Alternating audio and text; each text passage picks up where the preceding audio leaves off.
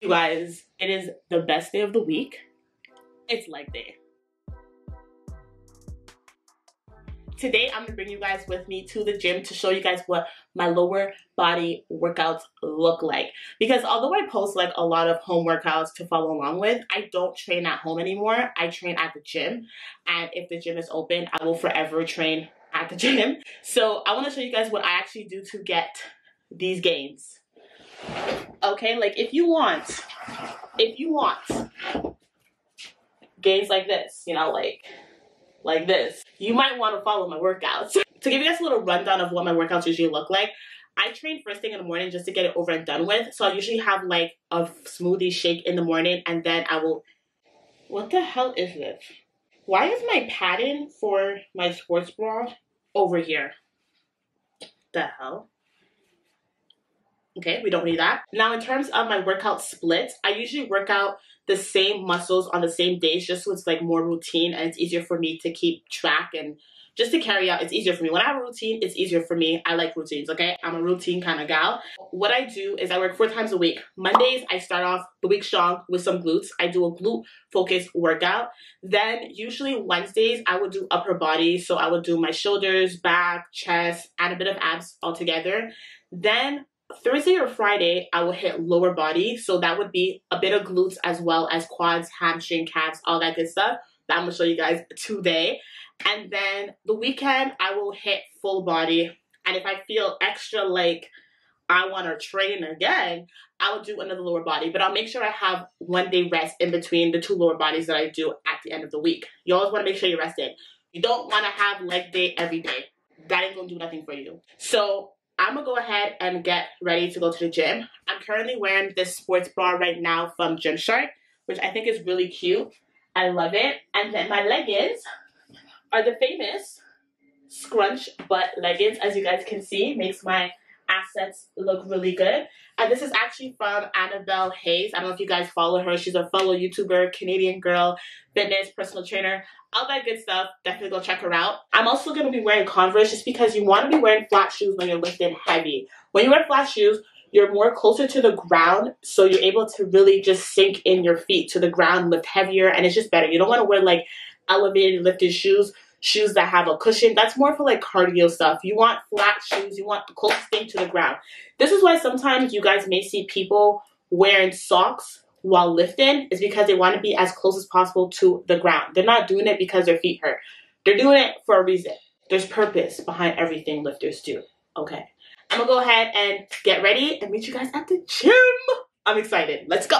Before I do my um, gym workouts for lower body, I always like 80% of the time do my pre-workout before. So right now I have the C4. I am using the blue raspberry flavor.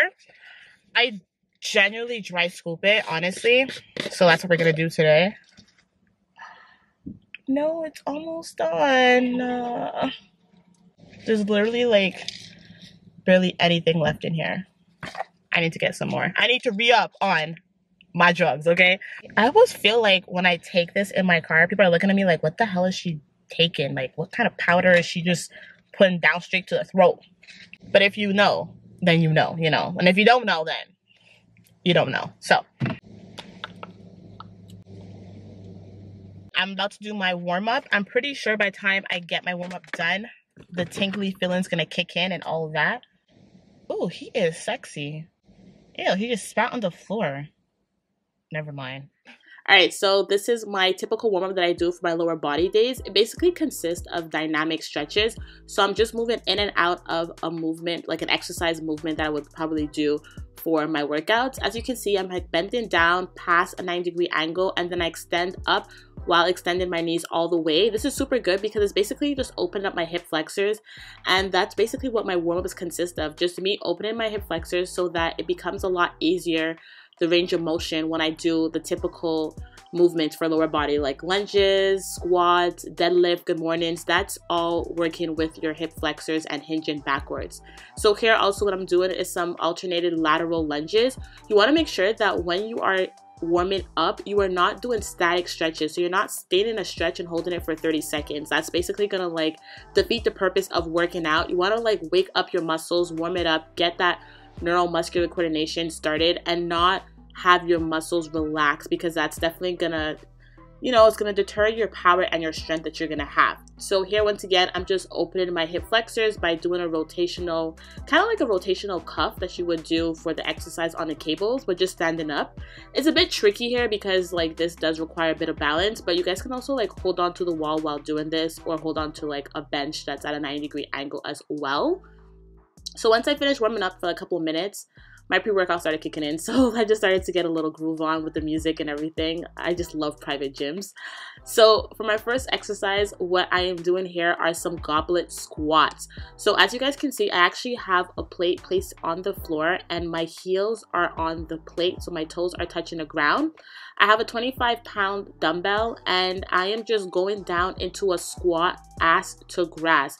So as you guys can see, I'm trying to hinge back and go as low as possible. And as I come up, I am thrusting my glutes. So I'm squeezing my glutes in, not too much. You don't want to over thrust. That's not good for you. You just want to squeeze your glutes as though you have something like in your ass cheeks and you don't want it to fall out. That's the best way for me to describe it. So for here, I did 12 reps and I did about three sets of those. Then once I finished that, I went straight into do some stiff leg deadlifts. I love these exercises. Honestly, it's super good for compound exercise. It works your quads, your hamstring, as well as your glutes. So for this one, I have two 25 pound dumbbells in my hand. And as you guys can see, I, my knees are slightly bended and I'm basically kind of like drawing a line with the dumbbells along the shin of my legs. And as I come up, I am squeezing my glutes at the top. It's super important to do that so you really keep the glutes engaged. And for this one, I aimed for about 12 to 15 reps. Like I pretty much did 12 to 15 reps for all my exercises.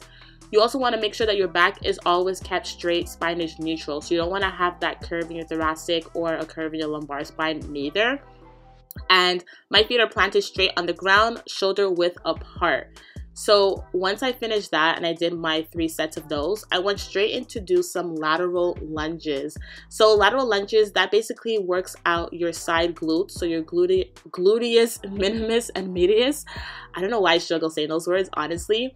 And I haven't done these in a long time. I want to like bring these back into my workouts because I used to do it way back, but now I really love them after doing this. This is really good for like hip dips and just you know, working the side glutes because you want to make sure you target every single part of the glutes when you do lower body. So here, as I said, I'm working the side glutes. I did 15 with going towards the right side. Well, that's my left side actually. And then I did 15 going on the right side. And I'm just carrying one dumbbell in my hand and I alternate and do the other side. So next what we have is the famous the infamous Bulgarian split squats. So this is like a hate love relationship I have with these. They're super effective, but they burn like a you know what. So for the Bulgarian split squats, I actually did 12 reps. And what you guys want to keep note is that your knee that's in front doesn't pass over your toe and the knee and back does not actually touch the ground. So after I did my 12 on the left side, I did 12 on my right side. And as you guys can kind of see more in this clip, I'm leaning my body more towards the front. So by doing this, you're actually targeting your glutes more.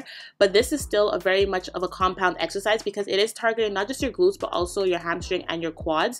It is a bit difficult because it does challenge your balance. So like a few times I kind of like lost my balance and just had to regain it. So if you guys are struggling with this or if you have weak ankles, you might have a bit more difficulty with doing this. Don't worry, just drop the weights and focus on doing body weights until you get your stability up, right? Then you want to add weights. It's super important, you guys, to master the actual exercise before adding loads onto it because you're just going to injure yourself. And of course, I had to hip hip thrusts. Like, is it really a leg day if you don't do hip thrusts? Let's be real. So I didn't do heavy loads. I actually just did about 10 to 12 reps, but I intensified it by adding resistant bands on my thighs and also I supersetted it. But as I reached to my 10th rep, what I actually did was I held the hip thrust to the top for about five seconds just to build up that tension as you guys can see. And once I finished that, I quickly went straight into hip abductors with the resistant bands just to really get those glutes activated and pumped.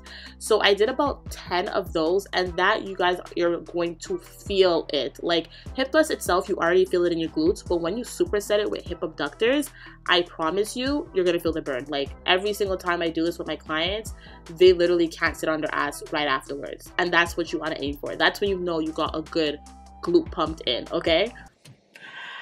that was a good workout. Right, so I just got back to my car from the gym and I did not show you guys the stretches that I did at the end. I forgot to film that part, my bad. But basically after every workout, I always stretch for about three to five minutes and I do static stretches. So what that basically is, you're basically going into a stretch and you're holding the stretch for 30 seconds so you can really feel the pull in the muscle and the tissue. Now you have to stretch. You have to stretch. I don't, hold on, I'm getting so hot in my car. Jesus. It is hot. It is hot for September. I ain't complaining though.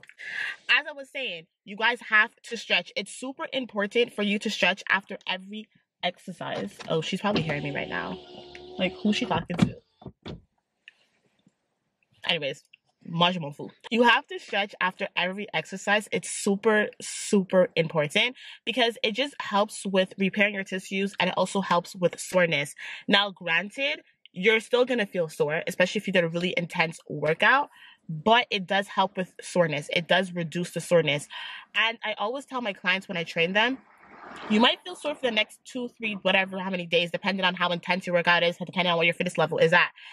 But it's super important, even after the workout the following day, you want to stretch again.